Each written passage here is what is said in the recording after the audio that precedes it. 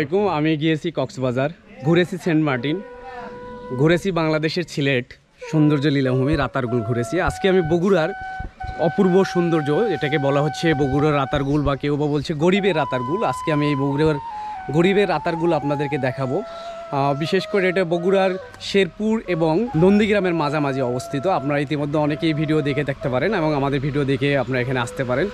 সত্যি অসম্ভব রকমের সুন্দর লাগবে এই গরিবের রাতারগুল চলুন দর্শক, আমরা এই পর্যায়ে রাত এই ভাদাই নদীর উৎপত্তি সম্পর্কে জানতে হলে আমি ফিরে যাব আজ থেকে আশি বছর পূর্বে। উনিশশো পঁয়তাল্লিশ সালে কাজী মোহাম্মদ মিসির তার বগুড়ার ইতিকাহিনী বইয়ে লিখেছেন, সাবরুল বিল হইতে এই নদী প্রবাহিত হইয়া গোহাইলের নিকট দক্ষিণামুখে কিছুদূর অগ্রসর হইয়া বগুড়া রাজশাহী সীমা নির্দেশরত প্রসিদ্ধ চলন বিলে পতিত হয়েছে সে সময় উনি লিখেছেন, এই নদীতে প্রচুর পরিমাণে জল ছিল, মাছ ধরতো অনেক মাছ পাওয়া যেত। বর্তমানেও জল রয়েছে, বর্ষাকালে মাছ পাওয়া যায়, কিন্তু শুষ্ক মৌসুমে অনেকটাই জল শূন্য থাকে।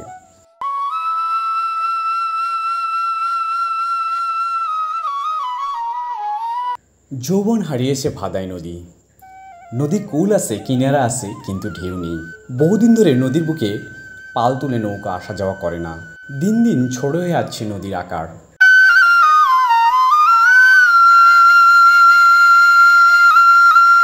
নদীর দুপাশে মাটি কেটে ভরাট করে অবৈধ দখল সীমাহীনভাবে বালু উত্তোলন করায় নদীর রূপ আজ বিলীন হওয়ার দ্বার প্রান্তে। একসময় এই নদীতে পানি থই থই করত, ভদ্রাবতী যৌবন হারিয়ে এখন অনেকটা মরা খালে পরিণত হয়েছে। নন্দীগ্রাম উপজেলার সদর থেকে পূর্ব দিকে প্রায় আট কিলোমিটার, এক নম্বর বুড়ইল ইউনিয়নের মুরাদপুর গ্রামের শেষ প্রান্ত রয়েছে ভদ্রাবতী নদী। বগুড়া সাবরুল দিঘি হতে ভদ্রা নদীর উৎপত্তি, সেটা আমি পূর্বেই আপনাদেরকে বলেছি। এই নদীর সাথে সিংড়ার চলনবিল ও যমুনা নদীর সংযোগ ভদ্রাবতী নদীর উৎপত্তি নিয়ে কল্পকাহিনী অনেক প্রচলিত রয়েছে।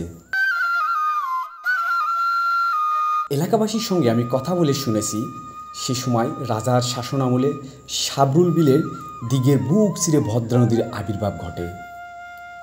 নদীর উৎপত্তি নিয়ে ভিন্ন ভিন্ন মতামত পাওয়া গেলে এই নদীটি মাটি খনন করে নাকি আসল অলৌকিকভাবে উৎপত্তি? তবে নামকরণের নৈপত্যের কাহিনী সম্পর্কে জানা গেছে। সেন বংশের অচিন কুমার নামে শেষ রাজার আমলে তার কন্যা ভদ্রাবতীর নাম অনুসারে নদীর নামকরণ। বর্ষা মৌসুমে ভরা পানিতে নদী থই থই করত। ছোট বড় মাছ দেখা মিলত। আগের দিনে কৃষি জমিতে সেচের জন্য প্রয়োজনীয় পানি নদী থেকেই ব্যবহার করা হতো।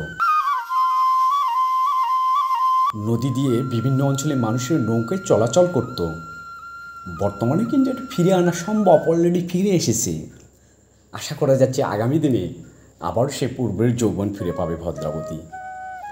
সেই সব চিত্র আজকে শুধুই স্মৃতি। নদীর যৌবন বৈচিত্র্যময় রূপে রক্ষার্থে মাটি ভরাট বন্ধ, অবৈধ দখল উচ্ছেদ করা, বালু উত্তোলন বন্ধ করা প্রয়োজন। এলাকার সচেতন মানুষের প্রাণের দাবি, সরকারি পৃষ্ঠপোষকতায় ভদ্রাবতী নদী খননের মাধ্যমে নদীর নাব্যতা ফিরিয়ে দেওয়া হোক।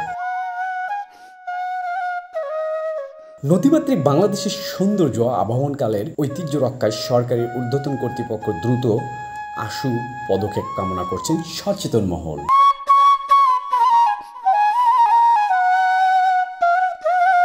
প্রকৃতি এত সুন্দর, এত মায়াবতী, এত রূপবতী। আমি হয়তো এই ভাদাই নদী বা ভদ্রা নদীতে না আসলে বুঝতে পারতাম না।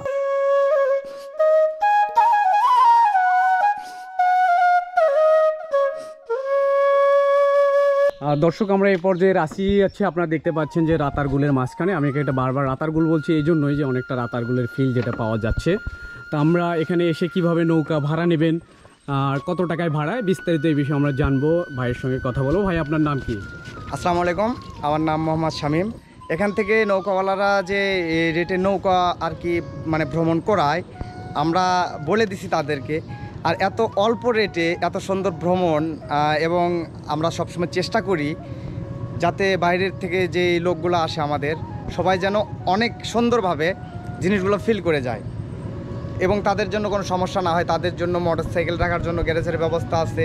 ভাইয়া এখানে নর্মালি পুরো নদী ঘুরতে জুন প্রতি কেমন খরচ হয় বা কেমন- কেমন টাকা নেওয়া জুনপতি বলতে আমরা যখন দেখি আপনার আপনি সিঙ্গেলে আসছেন আপনি একা তো একটা মানে নৌকা নিয়ে যাওয়া আপনার পক্ষে হয়তো সম্ভব না। সেখানে দেখা যাচ্ছে তিরিশ টাকা বিশ টাকা মানে এরকম মানে আমরা রাস্তা আছে যে তিরিশ টাকা কিংবা বিশ টাকা ভাড়া নেওয়া হয়। অল্প রাস্তা গেলে বিশ টাকা, একটু বেশি লং রাস্তা গেলে তিরিশ টাকা করে নেওয়া হয় পার পিস এবং আমাদের রিজার্ভ সিস্টেম এরকমটা আছে যে ধরে নেন আপনার আপ ডাউন তিনশো টাকা, হুম? আপনারা সেখানে পাঁচজন, সাতজন, দশজন যাইতে পারেন, সমস্যা নেই। রিজার্ভ গেলে কি হবে সেটা আপনাদের একটা মানে নিজস্ব ব্যাপারটা থাকল আর মানে জনসাধারণের আর কোনো মানে ইয়ে থাকল না ওখানে। তো আমাদের সব ধরনের মানে সিস্টেমে এখানে আমরা সার্ভিস দিয়ে থাকি। চিন্তায় কিংবা মানে অন্য একটা পরিস্থিতি না। আশা করা যায় আমাদের এই এলাকাটা সেরকম না। এলাকার মানুষ আমরা আসলে মানে যে আসছে সে জানে। আমাদের এলাকার মানুষ নর্মালি বোঝা যায় অনেক ভালো এবং অনেক ভদ্র। আর ওই রকম মানে ধরনের কোনো সিনক্রেট আমাদের এখানে হয় না। এবং হবে না এইরকম আশাবাদী আমরা। হ্যাঁ সরকারের প্রতি তো আমাদের দাবি আমাদের এখানে ভালো কিছু হোক মানে কে না চায় ভাই নিজের বাড়িতে ভালো কিছু হোক। তো আমরা বিশেষত আমাদের নিজের জন্য না, সবার জন্য নদী খননটা থাকলে, নদী খনন করলে আমার উপকার, সবার উপকার এই নদীতে বর্ষা মানে বর্ষাকালে পানি থাকে শীতকালে পানি থাকে না। সবসময় পানি থাকুক এবং নদীতে খনন হোক এবং মানে জনসাধারণ এখানে আসুক। মানে নদীর পানিতে আমরা যদি চাষাবাদ করতে পারি আমাদের জন্য সুবিধা এবং জনসাধারণের জন্য সুবিধা সবাই মানে ভ্রমণ করতে যায় ভাই সুন্দরবন। আমাদের এখানে তো ছোট্ট একটা সুন্দরবন আছে হ্যাঁ? তো আমরা এই উপলক্ষে আমরা চাচ্ছি আমরা সরকারের কাছে আবেদন এটাও যে আমাদের এখানে ভালো কিছু হোক এবং একটা মানে পর্যটক কেন্দ্র আমাদের এখানে মানে আমরা চাই।